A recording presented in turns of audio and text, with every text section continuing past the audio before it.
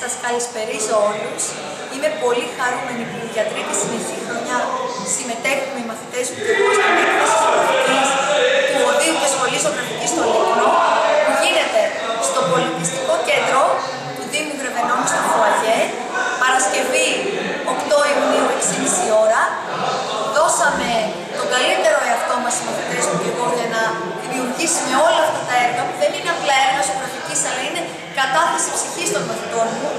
και πιστεύω συνέβαλα κι εγώ ε, στο να τους διδάξω κάποια πράγματα για να μπορέσουν να φτιάξουν όλες αυτές τις ωραίες δημιουργίες.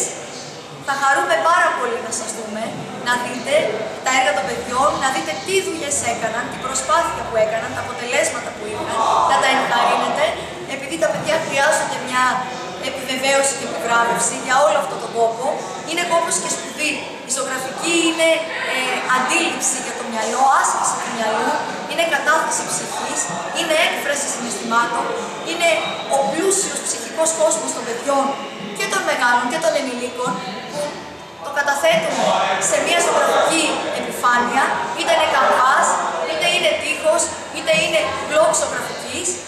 Ε, είναι πάρα πολύ ωραίο για όλους μας να ασχοληθούμε με οποιαδήποτε μορφή τέχνης και ειδικά με τη ζωγραφική, επειδή τη ζωγραφική σπουδάσαμε και έχουμε ιδιαίτερη αδυναμία, να χαρούμε πάρα πολύ να σας δούμε στην έκθεση, να είμαστε όλοι καλά και του χρόνου να δημιουργήσουμε πάλι μια έκθεση ζωγραφικής και να περάσετε όλοι ένα πολύ όμορφο και δημιουργικό καλοκαίρι.